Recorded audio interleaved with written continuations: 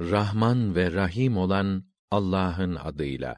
Bir de malumunuz olsun ki savaşta elde ettiğiniz ganimetin beşte biri Allah'ındır. Yani Resulullah'a, onun akrabalarına, yetimlere, yoksullara ve yolculara, gariplere aittir. Eğer Allah'a ve iki ordunun karşılaştığı, hak ile batılın iyice açığa çıktığı o Bedir günü kulumuza indirdiğimiz ayetlere iman ediyorsanız, bu hükmü böylece kabul edeceksiniz. Allah her şeye kadirdir. Hani Bedir savaşı günü ey Müslümanlar siz vadinin yakın kenarındaydınız. Onlar da uzak tarafındaydılar. Kervan ise sizden daha aşağıda deniz sahilindeydi. Eğer sözleşmiş olsaydınız dahi sözleştiğiniz vakitte öyle buluşamazdınız. Fakat Allah takdir ettiği bir işi yerine getirmek için sizi böyle buluşturdu ki helak olan bir delile göre helak olsun, yaşayan da bir delile göre yaşasın. Çünkü Allah her şeyi hakkıyla işitir ve bilir. O vakit Allah sana müşrik askerlerini rüyanda az göstermişti. Eğer onları çok gösterseydi paniğe kapılır, emir ve kumanda konusunda ihtilafa düşerdiniz. Fakat Allah sizi bundan kurtardı. Çünkü o bütün sinelerin gizlediklerini pek iyi bilir. Karşılaştığınız zaman Allah sizin gözlerinizde onları az gösteriyor, sizi de onlara az gösteriyordu ki Allah takdir ettiği işi yerine getirsin. Bütün işler sonuçta Allah'a raci olur. Nihai karar ve yürütme ona aittir. Ey iman edenler, savaş esnasında karşı karşıya geldiğiniz düşman birliğine karşı dayanın, sebat edin ve Allah'ı çok zikredin ki felah bulasınız. Allah'a ve Resulüne itaat edin. Sakın birbirinizle ihtilaf etmeyin. Sonra korkuya kapılıp zafa düşersiniz. Rüzgarınız, kuvvetiniz gider. Bir de tam manasıyla sabredin. Çünkü Allah sabredenlerle beraberdir. Memleketlerinden çalım satarak, halka gösteriş yaparak savaşa çıkan ve Allah yolundan insanları uzaklaştıranlar gibi olmayın. Allah onların bütün yaptıklarını çepeçevre kuşatmıştır. Hani şeytan onlara yaptıkları işi güzel gösterip şöyle demişti: Bugün insanlardan size galip gelecek kimse yoktur. Ben de yanınızdayım. Fakat iki ordu birbirini görecek hale gelip karşılaşınca gerisin geri dönüverdi ve ben dedi sizden uzağım. Ben sizin göremediğiniz şeyleri görüyorum. Ben Allah'tan korkarım. Öyle ya Allah'ın azabı çok şiddetlidir. O zaman münafıklar ve kalplerinde şüphe bulunanlar diyorlardı ki bu Müslümanları dinleri aldatmış. Halbuki kim Allah'a güvenip dayanırsa Allah ona yeter. Çünkü şüphe yok ki Allah azizdir, hakimdir, mutlak galiptir, tam hüküm ve hikmet sahibidir. Melekler o kâfirlerin yüzlerine ve arkalarına vurarak tadın bakalım cayır cayır yanmanın acısını diyerek canlarını alırken bir görmeliydin. İşte bu sizin ellerinizin işleyip öne sürdüğü işlerin karşılığıdır. Yoksa Allah asla kullarına zulmetmez. Bunların gidişi tıpkı Firavun hanedanının ve onlardan öncekilerin tutumu gibi oldu. Allah'ın ayetlerini inkar ettiler. Allah da günahları sebebiyle onları bastırıverdi. Çünkü Allah pek kuvvetli, azabı da çok şiddetlidir. Bu cezanın sebebi şudur. Bir millet kendilerinde bulunan güzel ahlak ve meziyetleri değiştirmedikçe Allah da onlara verdiği nimeti, güzel durumu değiştirmez. Bir de şundan ki Allah her şeyi hakkıyla işitir ve bilir. Dolayısıyla herkese layık olduğunu verir. Evet, tıpkı Firavun hanedanının ve onlardan öncekilerin tutumu gibi Rablerinin ayetlerini yalan saydılar. Biz de günahları sebebiyle onları imha ettik. Firavun ve beraberindekileri de denizde boğdu. Doğrusu bunların hepsi de zalim idiler. Allah indinde bütün canlı mahlukat içinde en kötü olanlar inkarcılıkta ısrar edenlerdir ki onlar imana gelmezler. Onlar kendileriyle anlaşma yaptığında hiç çekinmeden her defasında anlaşmayı bozan kimselerdir. Onları savaşta ele geçirirsen kendilerine öyle bir muamele yap ki onların arkasındaki bütün öbür düşmanlara da ibret olsun da akıllarını başlarına alsınlar. Seninle sözleşme yapan bir millette sözleşmeye aykırı bir hainlik alameti tespit edersen savaş açmadan önce anlaşmanın artık geçersiz kaldığını ilan et ki bunu bilme hususunda iki tarafta eşit olsun. Çünkü Allah hainleri sevmez. İnkar edenler öne geçtiklerini hiç zannetmesinler. Onlar elimizden kurtulamazlar. Düşmanlara karşı gücünüz yettiği kadar kuvvet hazırlayın. Savaş atları yetiştirin ki bu hazırlıkla Allah'ın düşmanlarını, sizin düşmanlarınızı ve onların ötesinde sizin bilemeyip de ancak Allah'ın bildiği diğer düşmanları korkutup yıldırasınız. Allah yolunda her ne harcarsanız onun karşılığı size eksiksiz ödenir. Size asla haksızlık yapılmaz. Eğer onlar barışa yanaşırlarsa sen de yanaş ve Allah'a güven. Çünkü Allah semidir, alimdir. Her şeyi hakkıyla işitir ve bilir. Eğer bir takım hilelerle seni aldatmak isterlerse hiç endişe etme. Allah sana yeter.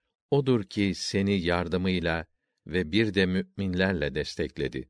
Müminlerin kalplerini birbirine ısındırıp bir araya getirdi. Şayet sen dünyada bulunan her şeyi sarf etseydin bile yine de onların kalplerini birleştiremezdin.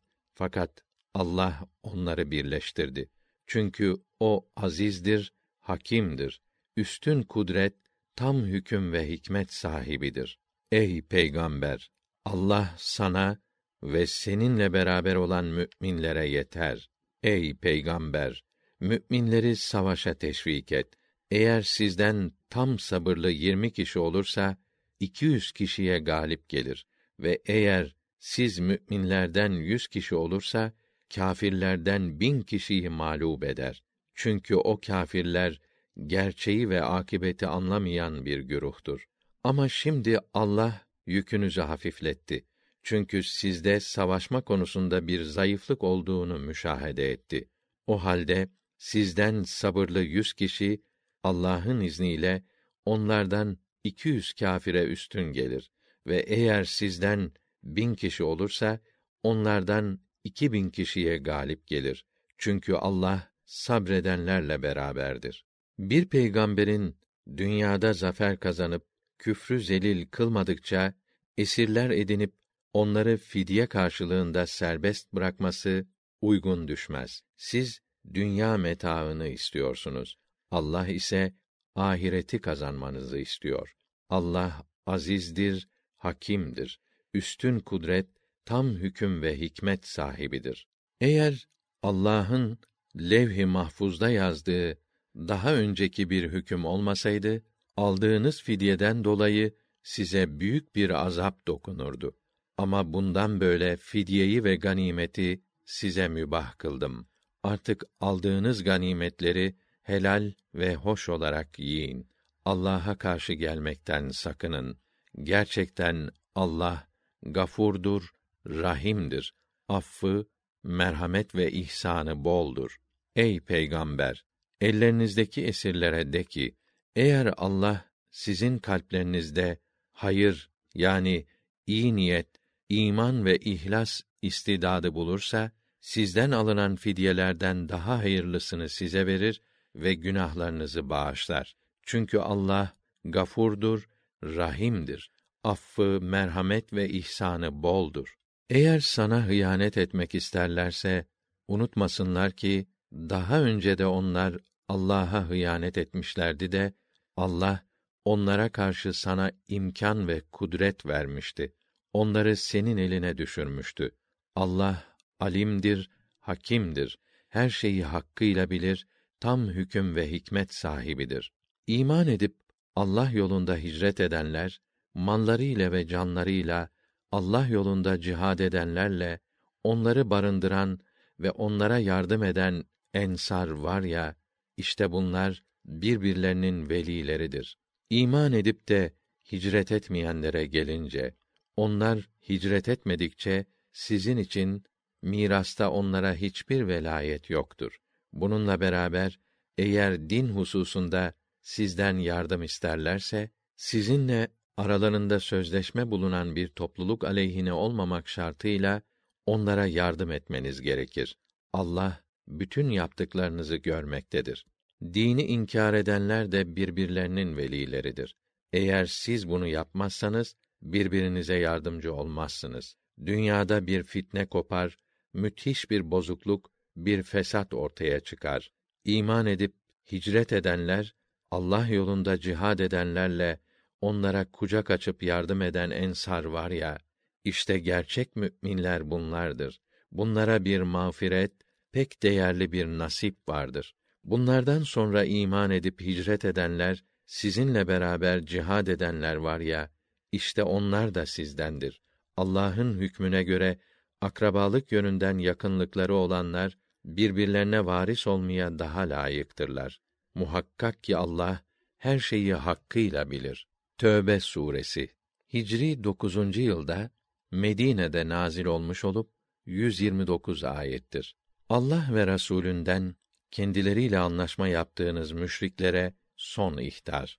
Bugünden itibaren yeryüzünde dört ay istediğiniz gibi dolaşın ve şunu bilin ki siz Allah'ın elinden hiçbir şekilde kaçıp kurtulamazsınız ve Allah kâfirleri rüsvâ edecektir. Haccın en büyük günü Allah ve Resulünden insanlara şunu ilan edin ki Allah da Resulü de müşriklerden beridir. Şayet şirkten tövbe edip tevhide yönelirseniz bu elbette sizin için daha hayırlı olur.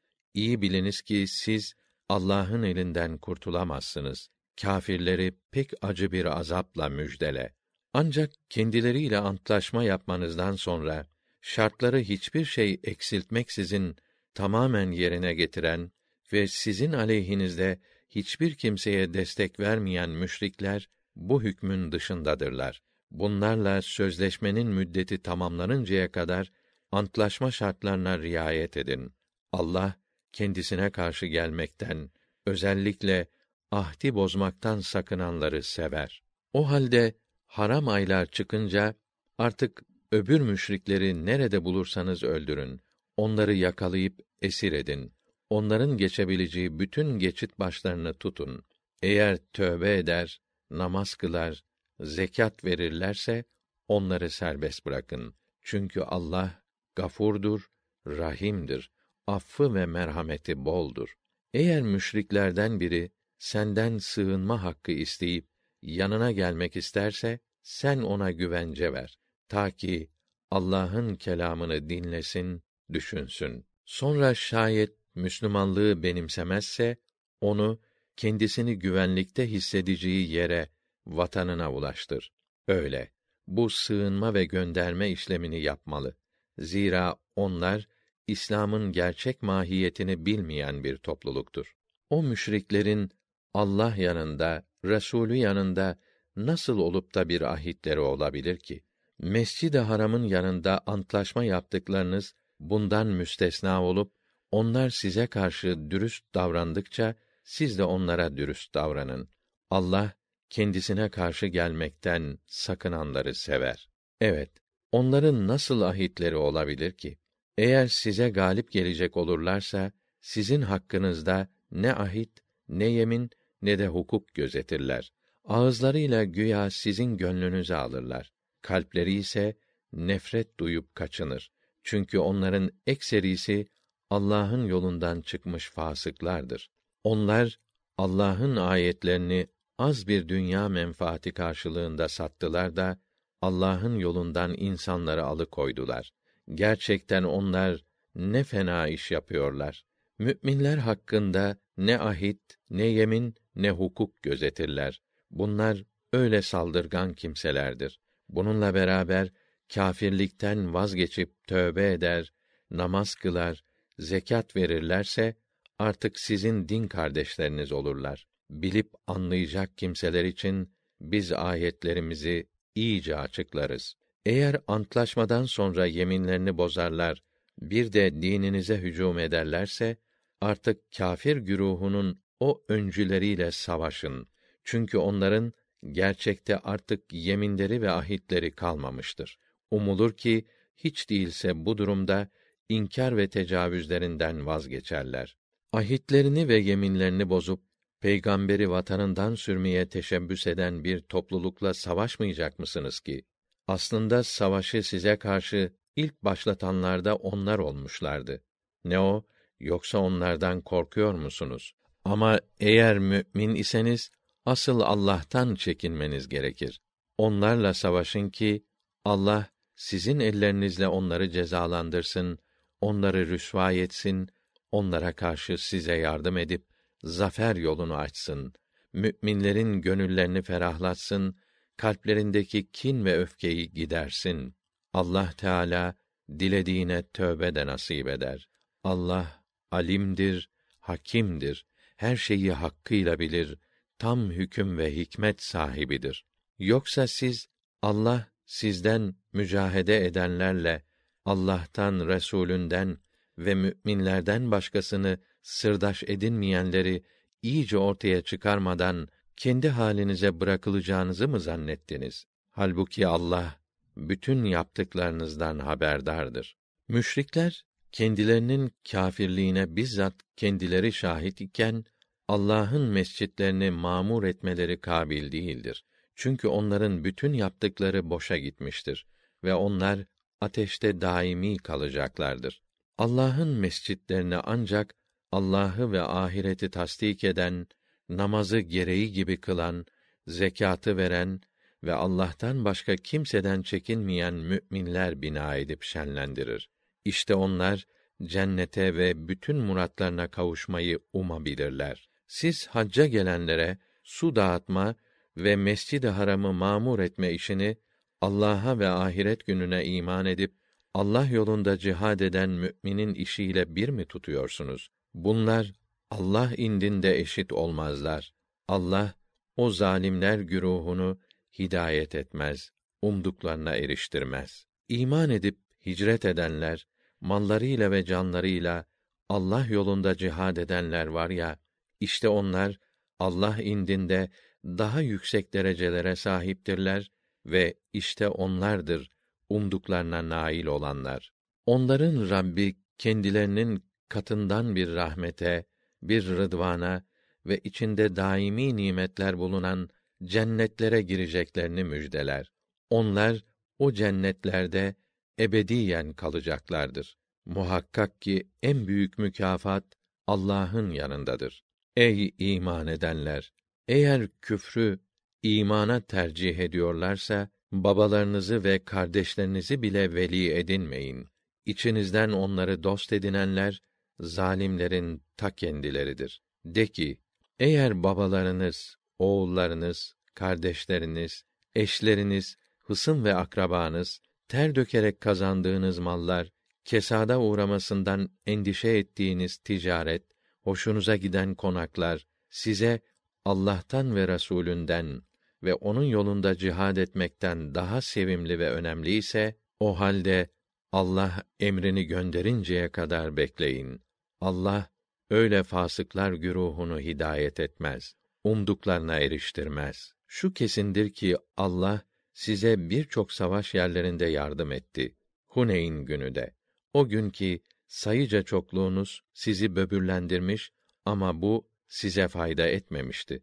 Olanca genişliğine rağmen dünya başınıza dar gelmişti. Sonra da bozguna uğrayarak düşmana arka çevirip kaçmaya başlamıştınız. Sonra Allah Resulünün ve müminlerin üzerlerine sekinetini, güven veren rahmetini indirmiş, sizin göremediğiniz ordular göndermişti de kendisini tanımayan o kâfirleri azaba uğratmıştı.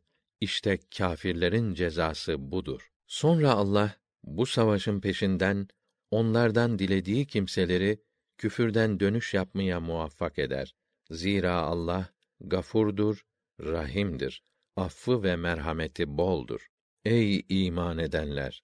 Müşrikler bir pislikten ibarettir. Onun için bu yıldan sonra Mescid-i Haram'a yaklaşmasınlar. Eğer yoksulluktan endişe ederseniz Allah dilerse sizi lütfundan zenginleştirir. Çünkü Allah alimdir, hakimdir. Her şeyi bilir, tam hüküm ve hikmet sahibidir. Kendilerine kitap verilenlerden oldukları halde Allah'a da ahiret gününe de iman etmeyen, Allah'ın ve Resulünün haram kıldığını haram tanımayan, hak dinini din olarak benimsemeyen kimselerle zelil bir vaziyette tam bir itaatle cizye verinceye kadar savaşın. Yahudiler Üzeyir Allah'ın oğludur dediler. Hristiyanlar da Mesih Allah'ın oğludur dediler. Bu onların ağızlarında geveledikleri sözlerden ibarettir. Onlar sözlerini daha önce geçmiş kâfirlerin sözlerine benzetiyorlar. Hay Allah kahredesiler. Nasıl da haktan batıla döndürülüyorlar. Yahudiler hahamlarını, Hristiyanlar rahiplerini ve Meryem'in oğlu Mesih'i Allah'tan başka Rab edindiler. Halbuki onlara bir tek ilaha ibadet etmeleri emrolunmuştu. Ondan başka ilah yoktur. O, onların ortak koştukları şirkten münezzehtir. Onlar Allah'ın nurunu ağızlarıyla üfleyip söndürmek isterler. Allah ise nurunu tam parlatmaktan başka bir şeye razı olmaz. Kâfirler isterse hoşlanmasınlar. Odur ki Resulünü bütün dinlere üstün kılmak için hidayetle ve hak dini ile gönderdi. Müşrikler isterse hoşlanmasınlar. Ey iman edenler! Doğrusu hahamların ve rahiplerin çoğu halkın mallarını haksız yollardan yerler ve insanları Allah'ın yolundan uzaklaştırırlar. Altını, gümüşü yığıp Allah yolunda harcamayanlar var ya, işte onları acı bir azabın beklediğini müjdele. Yığılan bu altın ve gümüş cehennem ateşinde kızdırılarak bunlarla onların alınları, yanları ve sırtları dağlanacağı gün onlara işte denilecek. Sizin nefisleriniz için yığıp hazineye tıktıklarınız. Haydi tadın bakalım o tıktığınız şeyleri. Doğrusu Allah'ın gökleri ve yeri yarattığı günkü kesin hükmünde ayların sayısı on iki ay olup bunlardan dördü hürmetlidir. İşte doğru hesap budur. O halde bilhassa bunlarda nefislerinize zulmetmeyin ve müşrikler nasıl sizinle topyekün savaşıyorlarsa siz de onlarla topyekün savaşın ve bilin ki Allah ilahi sınırlara saygılı olup fenalıklardan sakınanlarla beraberdir. Hürmetli ayların yerlerini değiştirip ertelemek sadece kâfirlikte ileri gitmektir. Öyle yapmakla kâfirler büsbütün şaşırtılırlar.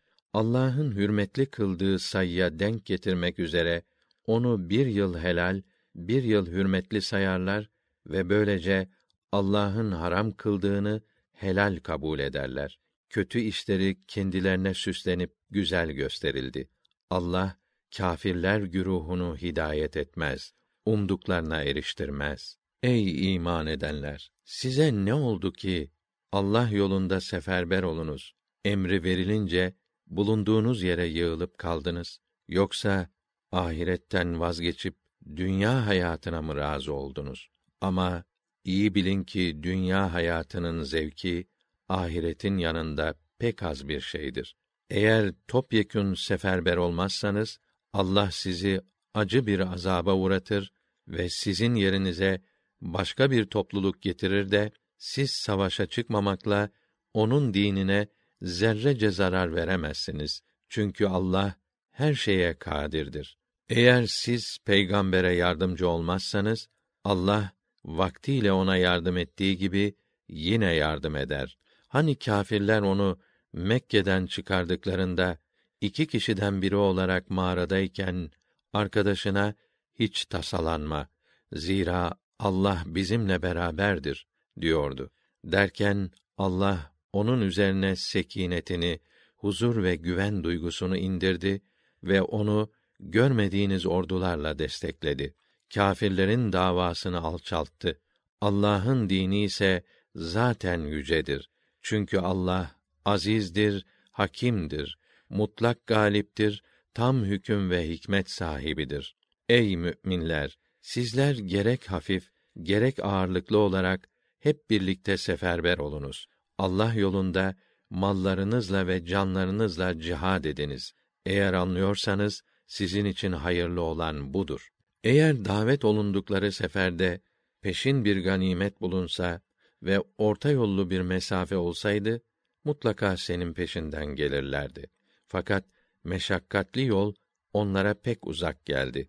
Bununla beraber eğer gücümüz yetseydi muhakkak sizinle beraber sefere çıkardık diye yemin edeceklerdir. Onlar bu yalanlarıyla kendilerini mahvediyorlar. Çünkü Allah onların yalancı olduklarını kesinlikle bilmektedir. Hay Allah seni affedesice.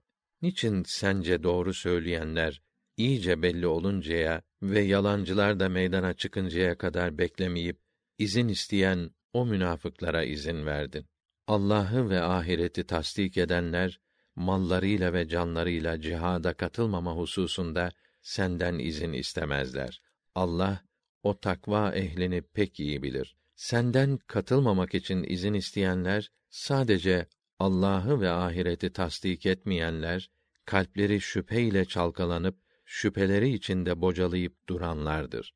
Eğer onlar gerçekten sefere çıkmak isteselerdi, elbette onun için hazırlık yaparlardı. Fakat Allah onların davranışlarını hoş görmeyip kendilerini engelledi ve kendilerine oturun oturanlarla beraber denildi. Şayet sizinle çıkmış olsalardı bozgunculuk etmekten başka bir faydaları olmazdı. Fesat ve fenalığı arttırmaktan başka bir iş yapmazlardı. Sizi fitneye düşürmek arzusuyla aranıza sokulup entrikalar çevirirlerdi. Aranızda onlara kulak verenler de vardır. Allah o zalimleri pek iyi bilir. Gerçekten bunlar daha önce de fitne çıkarmak istemişler ve işleri ters yüz ederek seni yanıltmaya çalışmışlardı. Nihayet onlar hoşlanmasa da hakikat ortaya çıkmış ve Allah'ın emri galebe çalmıştı. İçlerinden bazıları bana izin ver, beni fitneye ve isyana düşürme, başımı derde sokma der. Bilmiş ol ki fitneye zaten kendileri düşmüşlerdir. Cehennem elbette kâfirleri her taraftan kuşatacaktır. Sana bir iyilik gelirse onlar üzülürler ve eğer başına bir musibet gelirse içlerinden neyse ki biz daha önce tedbirimizi almıştık. Sorununuzu nasıl çözerseniz çözünüz deyip senin başına gelen felaketten dolayı keyifli keyifli arkalarını döner giderler. De ki Allah bizim hakkımızda ne takdir etmiş, ne yazmışsa başımıza ancak o gelir. Mevlamız, sahibimiz odur.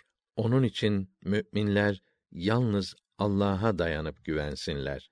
Münafıklara de ki, bizim hakkımızda bekleyip gözlediğiniz iki güzel şeyden, yani zaferden veya şehit olmaktan başka bir şey midir? Biz ise Allah'ın ya kendi tarafından veya bizim ellerimizle sizi azaba uğratmasını bekliyoruz. Bekleyin bakalım, biz de bekliyoruz. De ki, Allah yolunda ister gönül rızasıyla verin, ister gönülsüz infak edin, verdikleriniz sizden hiçbir zaman kabul edilmeyecektir. Çünkü siz hak yoldan çıkmış fasıklar güruhusunuz. Bu teberrularının kabul edilmemesinin tek sebebi şudur. Çünkü onlar Allah'a ve Resulüne karşı inkar ve nankörlük içindedirler. Namaza ancak üşene üşene gelirler. Yardımda bulunurken de istemeye istemeye gönülsüz verirler. Onların gerek mallarının gerekse çocuklarının çokluğu seni imrendirmesin. O hiç de önemli değil. Çünkü Allah bunlar sebebiyle dünya hayatında onlara sıkıntı çektirmeyi ve canlarının kâfir olarak çıkmasını dilemektedir. O münafıklar yanınızda Allah'a yemin ederek sizden olduklarını ileri sürerler. Aslında onlar sizden değildirler. Doğrusu onlar kâfirlerin maruz kaldıkları durumdan endişe etmeleri sebebiyle ötleri kopan bir topluluktur. Şayet sığınacakları bir yer yahut barınabilecekleri mağaralar, hatta başlarını sokabilecekleri bir delik bulsalardı, derhal o tarafa seyirtirlerdi. Onlardan bazıları da senin zekat ve sadakaları taksim edişine dil uzatırlar. Bu mallardan kendilerine pay verilirse memnun olurlar. Verilmeyince hemen kızıp öfkelenirler. Eğer onlar Allah'ın ve Resulünün kendilerine verdiklerine razı olsalar ve Allah'ın lütfu bize yeter. Allah bize lütfundan yine verir. Resulü de bizim istediğimiz sadece Allah'ın rızasıdır deselerdi kendileri için elbette daha iyi olurdu. Zekatlar sadece fakirlere, düşkünlere, zekat toplayan görevlilere, kalpleri İslam'a ısındırılacak olanlara, esirlik ve kölelikten kurtulmak isteyenlere, borçlulara, Allah yoluna ve bir de muhtaç kalmış yolcu ve gariplere mahsustur. Allah tarafından kesin olarak böyle farz buyuruldu. Allah alimdir, hakimdir. Her şeyi bilir, tam hüküm ve hikmet sahibidir.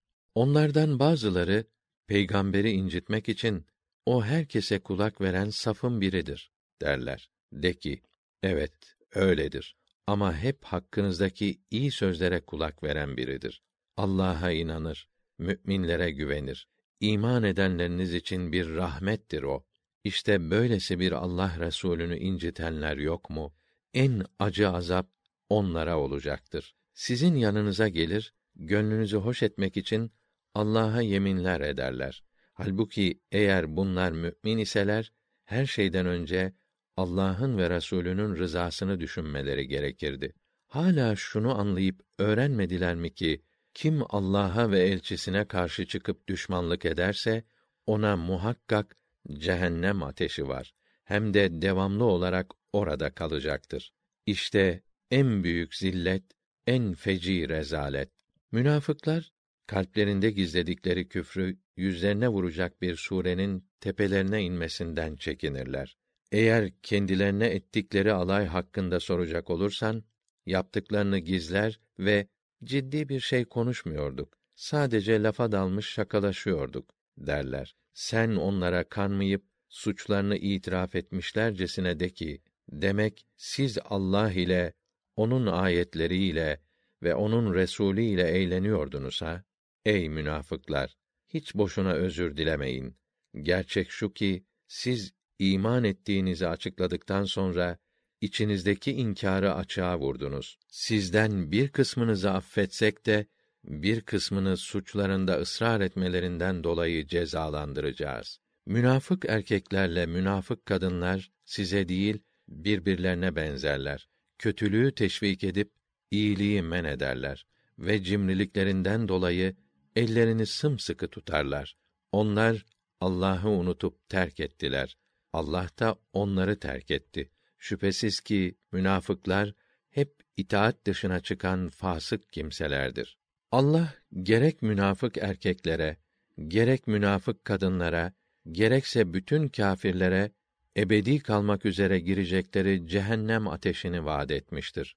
O onlara yeter. Allah onları rahmetinden uzaklaştırdı. Onlara devamlı bir azap vardır. Ey münafıklar, sizin durumunuz tıpkı sizden önce helak olan ümmetlerin durumuna benzer. Üstelik onlar kuvvetçe sizden daha güçlü olup malları daha fazla, evlatları daha çoktu. Onlar bu dünyadaki nasipleri kadar zevk almak istediler. İşte sizden öncekiler nasıl öyle nasiplerince yaşamak istedilerse siz de yine kısmetinizce zevk almak istediniz. Siz de o batağa dalanlar gibi daldınız. Onların yaptıkları işler hem dünyada hem de ahirette boşa gitti. İşte onlar hüsrana uğrayanların ta kendileri oldular. Kendilerinden önce gelip geçmiş milletlerin başlarına gelen olaylara dair haber onlara ulaşmadı mı? Nuh kavminden, Ad, Semud ve İbrahim kavminden, Medyen halkından ve şehirleri yerle bir edilen toplumdan haberdar olmadılar mı? Onlara peygamberleri açık deliller getirdi ama inanmadılar. Bundan dolayı Allah'ın gazabına uğradılar. Ama onlara Allah zulmetmedi. Lakin onlar kendi kendilerine zulmediyorlardı. Mümin erkeklerle mümin kadınlar birbirlerinin velileri, yardımcılarıdır. Onlar iyilikleri teşvik edip kötülükleri men ederler. Namazı hakkıyla yerine getirir, zekatı verir, Allah'a ve Resulüne itaat ederler. İşte onları Allah geniş rahmetine mazhar edecektir. Çünkü Allah azizdir, hakimdir. Üstün kudret, tam hüküm ve hikmet sahibidir. Allah mümin erkeklere de, mümin kadınlara da ebedi kalmak üzere girecekleri içinden ırmaklar akan cennetler vaad etti. Hem adn cennetlerinde hoş hoş konaklar. Hepsinden alası ise Allah'ın kendilerinden razı olmasıdır. İşte en büyük mutluluk, en büyük başarı budur. Ey şanlı peygamber, kâfirler ve münafıklarla mücahede et. Onlara karşı sert davran. Onların varacakları yer cehennemdir. Ne kötü bir dönüş yeridir orası. Onlar Allah'a yemin ederek olumsuz bir şey söylemediklerini ileri sürerler. Halbuki küfür sözünü söylediler. İslam'a girdikten sonra inkar ettiler. Başaramadıkları, netice alamadıkları bir takım cinayetlere yeltendiler. Münafıkların peygambere ve müminlere kin beslemelerinin tek sebebi Allah ve Resulü'nün kendi lütfu ile müminlerin ihtiyaçlarını gidermesiydi. Onlar tövbe ederlerse haklarında hayırlı olur. Yok, yüz çevirirlerse Allah onları dünyada da ahirette de acı bir azaba uğratır. Onlara dünyada ne bir hami ne de bir yardımcı bulunur. Onlardan kimi de Allah'a şöyle kesin söz vermişlerdi. Eğer Allah bize lütfundan verirse biz de mutlaka zekat ve teberruda bulunacak ve elbette iyi insanlardan olacağız. Fakat Allah lütfundan onlara servet verince cimrilik edip mallarının hakkını vermediler. Zaten onlar yan çizip duruyorlardı. Allah'a verdikleri sözden dönmeleri ve yalan söylemeyi adet edinmeleri sebebiyle Allah da bu işlerinin neticesini kalplerinde kıyamet gününe kadar sürecek bir münafıklık kıldı. O münafıklar hala anlamadılar mı ki Allah onların sözlerini de fısıldaşmalarını da bilir. Hem Allah bütün gayipleri tam tamına bilir.